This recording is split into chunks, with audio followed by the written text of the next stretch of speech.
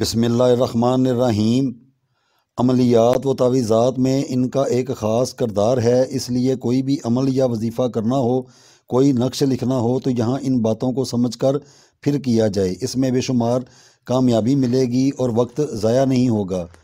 ہر کوئی عنصر اپنا ایک خاص اثر اور قوت رکھتا ہے، جس کو عملیات اور تعویذات میں استعمال کرنے سے اس عمل میں ایک خاص تاثیر پیدا ہوتی ہے۔ کیونکہ ہر عنصر کی اپنی ایک خاص قسم کی حرارت ہے جو ہمارے وجود میں قدرتی پائی جاتی ہے۔ جیسا کہ یہ چاروں اربع عناصر قدرتی ہیں، تمام عملیات تعویذات میں ان کا ایک خاص عمل دخل ہے۔ اس لیے ان کو خاص طور سے استعمال کیا جائے اور اگر کسی فرد کے لیے کوئی خاص عمل، جیسے کسی مرد اور عورت کی بیماری کا علاج کرنا ہے یا اس کے لیے کوئی خاص فتح نامہ یا دیگر کوئی بھی خاص نقش تحریر کرنا ہو، تو اس فرد کے عنصر کو معلوم کر کے اس کو دوہرا کر کے اسی سمت چلایا جائے اور اس کے موکلات کو درمیان میں رکھ کر یا جیسے پیچھے عناصر کا خاص عمل لکھا ہے، اس طریقے سے کرتے ہوئے اس کو کیا جائے اور جیسے چاہے آزما لیا جائے۔ یہ ضرور بر ضرور کام کریں گے۔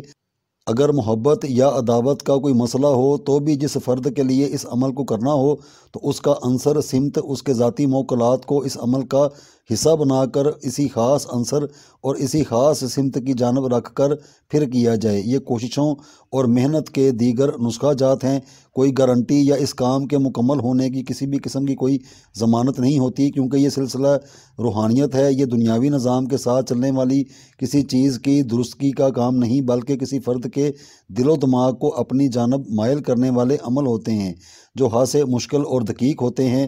انسان صرف اس کے لیے بیکار بیٹھنے یا کچھ نہ کرنے سے بہتر کچھ کرنا بہتر ہوتا ہے۔ صرف اس بنیاد پر کوشش کی جا سکتی ہے۔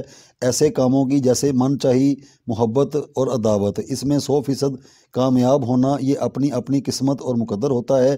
کام کرنے والی ذات صرف اور صرف اللہ کی ہے۔ اور دنیاوی طور پر فن عملیات میں اگر درست سوجھ بوجھ ہو تو وقت ضائع کیے بغیر اچھی کوشش اور محنت کی جا سکتی ہے اپنے لیے یا کسی دوسرے کے لیے۔ یہ دیکھنے کے لیے کہ اس فرد پر کس سمت میں کام کرنے سے اچھے اثرات مرتب ہوں گے۔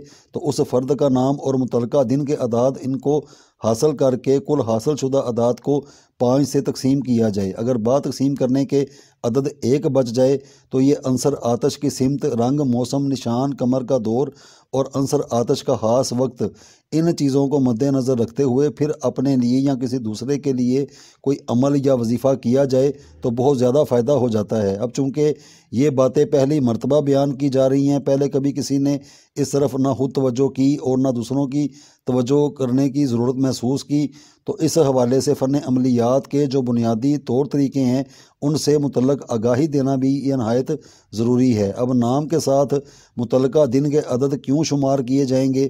تو اس کی دلیل یہ ہے کہ یہ سمتیں بھی گردش میں رہتی ہیں۔ مثلا مشرق شمال، مغرب جنوب اور مرکز۔ یہ بنیادی طور پر ظاہری آنکھوں سے مشرق سے مشرق، شمال سے شمال، مغرب سے مغرب اور جنوب سے جنوب۔ یہ ویسے ہی رہتے ہیں، لیکن جب آپ ان کو فن عملیات کی بنیاد پر کر کے دیکھیں گے تو ہر ہفتے کی سمت کے پس پردہ رہنے والی طاقتیں اپنی گردش میں رہتے ہوئے تبدیل ہوتی رہتی ہیں۔ اب اس مثال سے دیکھیں کہ یہ گردش میں کیسے اور کب تبدیل ہو جاتی ہیں اور کیوں اپنے نام میں اس خاص دن کے عدد شامل کرنا ضروری ہوتا ہے۔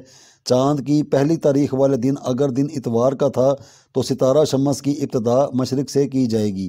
اب ستارہ شمس کی پہلے ہفتے کے پہلے دن کی گردش سمت مشرق، دوسرے ہفتے کی آٹھ تاریخ سمت شمال، تیسرے ہفتے کی سولہ تاریخ مغرب اور چوتھے ہفتے کی چوبیس تاریخ سمت جنوب کی ہوگی۔ اور یہ دن عملیات کی بنیاد پر بالکل ثابت شدہ بات ہے، چونکہ ہر ایک دن کا حاکم ستارہ ہوتا ہے۔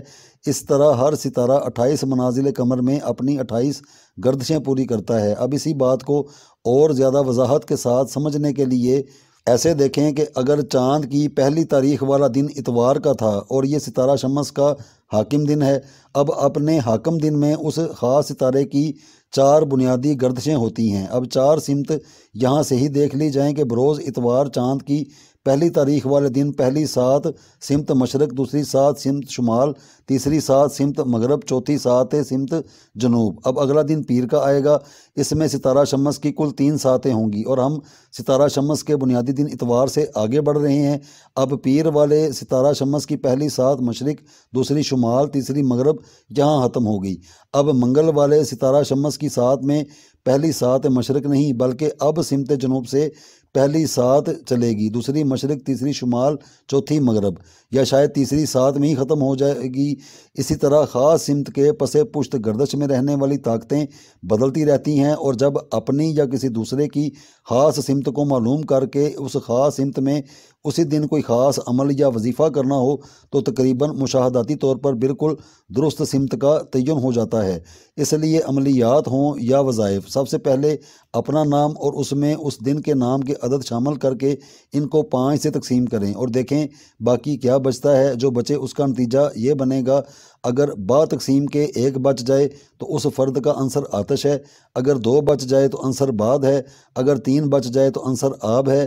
اگر چار بچ جائے تو عنصر خاک ہے۔ اور اگر پانچ سے برابر تقسیم ہو جائے باقی کچھ بھی نہ بچے تو اس کو مرکز تصور کیا جائے گا۔ مطلب اس فرد پر زیادہ سے زیادہ کلام الہی اپنا زیادہ اثر زبان سے ورد کرنے سے اس کے اوپر زیادہ اثر آئے گا۔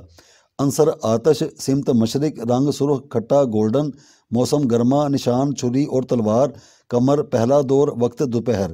آسی عنصر سے تعلق رکھنے والے پتھر کی حیثیت اپنی حفاظت کرنا جادوئی اور بد عملیات سے محفوظ رہنا، جسمانی نشو و نما اور صحت و تندرستی کے لیے، روحانی قوت میں زیادہ اضافہ کرنے کے لیے، بلند حوصلے کے لیے۔ اس عنصر کی متعلقہ شمع کا رنگ سرخ ہے اور اگر کوئی چراغ استعمال کرے تو اس چراغ کو کھٹا یا سرخ رنگ کر دیا جائے اور اس سے مخصوص پتھر، سرخ دھاریوں والا عقیق، کالا عقیق، بھورا عقیق، سرخ عقیق، blood stone, carnelian, سٹرائن، quartz crystal, ہیرا گارنٹ ہیماٹائٹ سرخ سنگ مردار lava obsidian onyx pipe stone یاقوت، زہر مہرہ، گندک ٹائیگر ہجر الشمس سرخ ترمری ٹوپاز واٹر ملین ترمری سرخ زرکون ہیں۔ ان میں سے کوئی بھی اصل مل جائے تو اس کو پہن کر استعمال کریں۔ با تقسیم کرنے کے اگر باقی ایک بچ جائے تو عنصر آتش کی اس جدول کو ایسے استعمال کریں کہ اپنا کوئی بھی روحانی یا دنیاوی کام کریں تو اپنی پوزیشن مشرق ہی رکھیں۔ اگر کوئی ورد یا وظیفہ یا عمل کریں تب بھی مشرق کی سمت استعمال کریں۔ چراغ یا شمع، سرخ، کھٹا، گولڈن، ان تینوں میں سے کسی ایک کا انتخاب کر لیں۔ موسم اگر سردیوں کا ہو تو یہاں جدول میں اس عنصر کا جو حقیقی تعلق ہے وہ لکھا ہے، اپنے عمل یا وظیفہ کرنے سے اس کا کوئی تعلق نہیں۔ اور جب بھی سمت مشرق کی جانب اپنا وظیفہ یا عمل کریں تو چھری یا تلوار دونوں میں سے چاہے ایک یا دونوں اپنے پاس رکھیں اور نوک اس کی مشرق کی جانب رکھیں۔ زیادہ سے زیادہ فائدہ اٹھانے کے لیے ترقی اور عروج کے لیے نئے چاند کے شروع والے دن اس کو استعمال کریں اور کوشش کریں کہ وہ دوپہر کی سات کو زیادہ استعمال کیا جائے۔ یہ اس سمت کا حاکم نقش ہے اور یہ ہر کرا ہے۔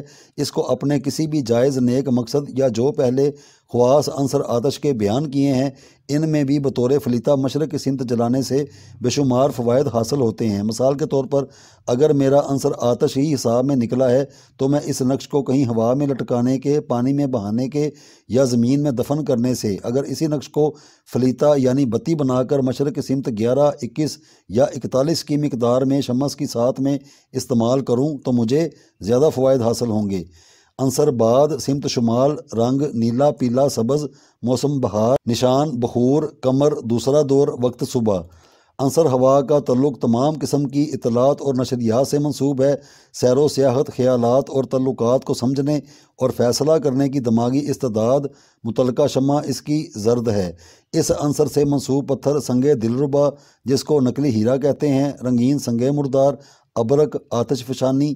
عنصر بعد میں کرنے والے عمل کو ہمیشہ اس کی سمت کی جانب کیا جائے اور جو پیچھے بتایا ہے، ان کو سمجھ کر پھر ان عناصر سے کام لیا جائے۔ تو یہ نہایت فائدہ مند اور حقیقت والے عناصر محنت اور کوشش کے ساتھ طاقتور بنتے ہیں۔ خود سے ہی نہیں بن جاتے، ان کے لیے محنت کرنا پڑتی ہے اور کسی بھی عنصر کے لوازمات پورے کرنا اور اس خاص سمت سے ان کو حرکت میں لانا اور غیر حرکت شدہ چیز کے اندر حرکت اور گردش بھر دینا، یہ سب باتیں اسی طرف اشارہ کرتی ہیں۔ اسی لیے بار بار ان کو دہرایا نہیں جائے گا۔ تاکہ ہر کوئی ان کی اہمیت کو سمجھے اور اس پر محنت کرے۔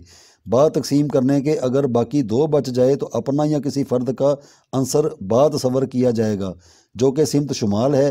اپنے ہر عمل یا وظیفے کو اسی جانب ہی استعمال کریں اور بخور یا اگر بتی کو لازمی اس جانب استعمال کریں۔ زیادہ طاقت حاصل کرنے کے لیے اپنے وظائف اور عملیات میں چاند کے دوسرے دور کا زیادہ استعمال رکھیں اور بوقت صبح اپنے عمل کا آغاز کریں۔ یہ خاص نقش سمت شمال کا ہے اور یہ ہر کرا ہے اپنا عنصر بعد حساب میں آ جانے سے اس کو نہ جلایا جائے گا، نہ پانی میں بہایا جائے گا، نہ زمین میں دفن کیا جائے گا۔ اس کو صرف شمال کی جانب ہوا میں لٹکایا جائے گا۔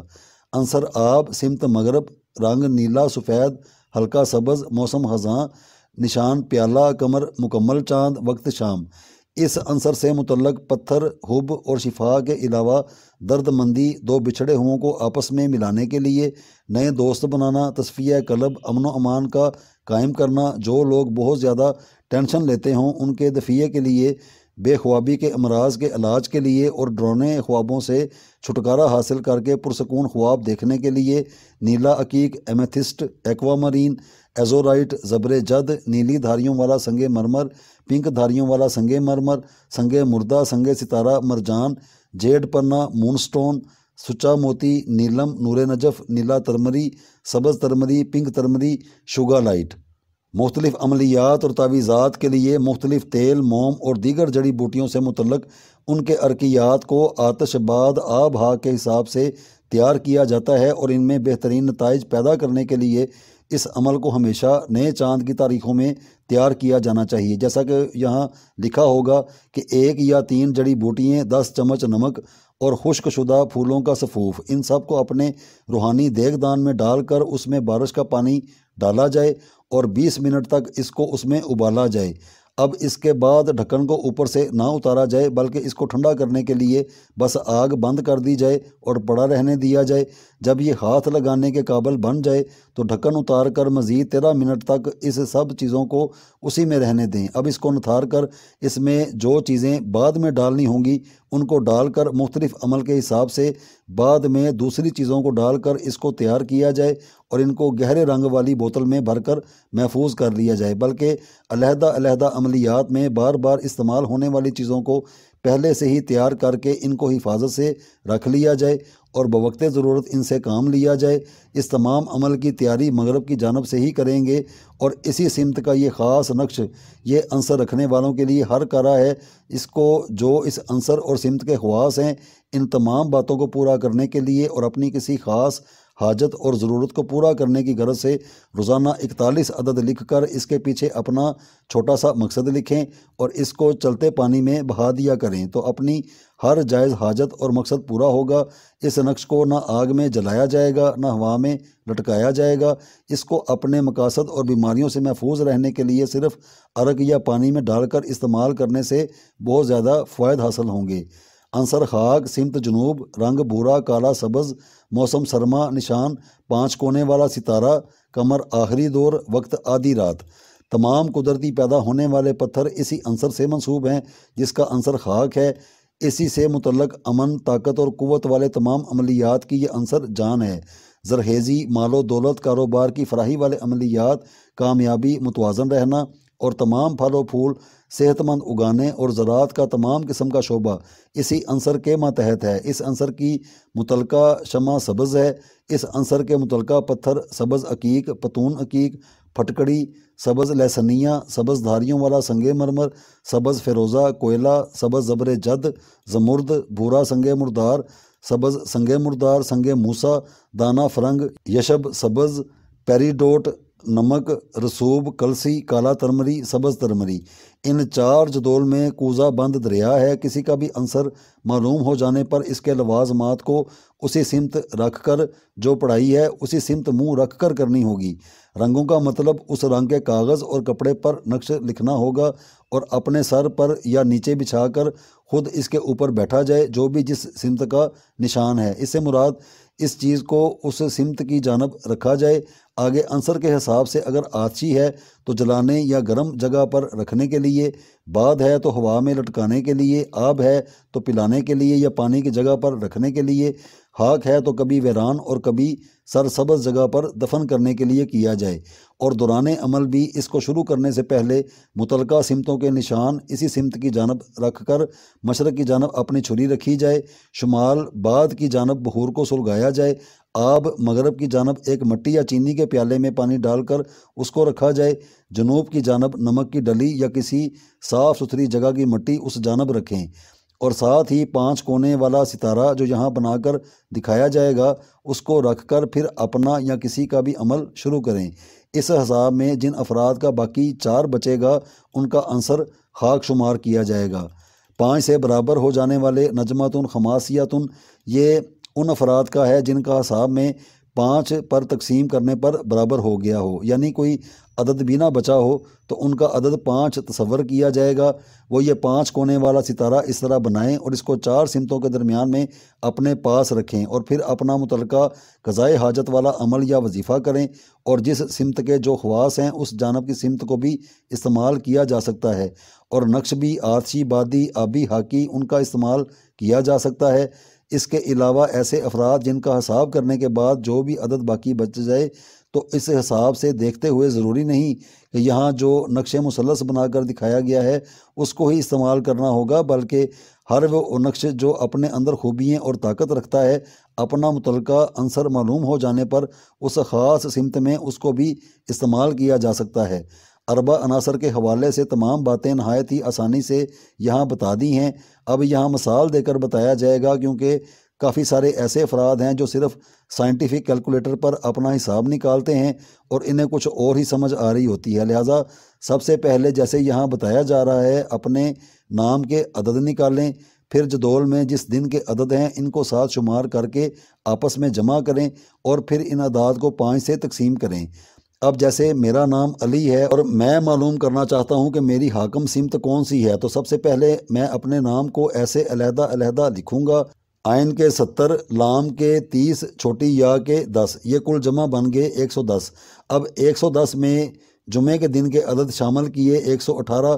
اب ان کو نام کے عداد میں جمع کیا، تو یہ بن گئے دو سو اٹھائیس۔ اب دو سو اٹھائیس کو پانچ سے تقسیم کیا تو باقی بچا تین۔ اس حساب سے میرا ابھی عنصر نکلا۔ میں اب اپنے عملیات میں اس ہفتے میں صرف سمت مغرب اور عنصر آپ کے ساتھ کام جو میرے کرنے والے ہوں گے، میں وہ کروں گا، تو مجھے بہت زیادہ فائدہ ہوگا۔ پھر اگلے ہفتے نئے سرے سے دیکھا جائے گا تو پوزیشن بدل چکی ہوگی۔ اس ترتیب سے چاند کے چار دور ہوتے ہیں اور چار ہفتوں کا ایک مہینہ ہوتا ہے۔